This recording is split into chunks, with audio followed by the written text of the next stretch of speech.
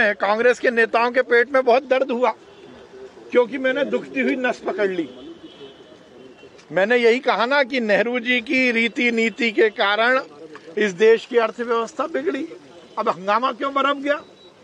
भाई, आप बातें करते हो कि नेहरू जी ने देश का निर्माण किया, नेहरू जी ही थे, पर यह भी तो जवाब देना पड़ेगा कि नेहरू जी ने आज़ादी की लड़ाई के बाद हिंदुस्तान जो आज़ाद हुआ, उसमें सबसे पहले गांधी की अर्थव्यवस्था के मॉडल को तिलांजलि क्यों दी?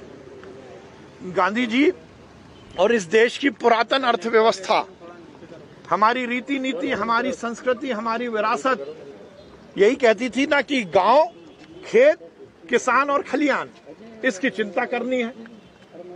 गांधी का मॉडल क्या था कि गाँव की इकोनॉमी गाँव में ही बढ़े, गाँव में ही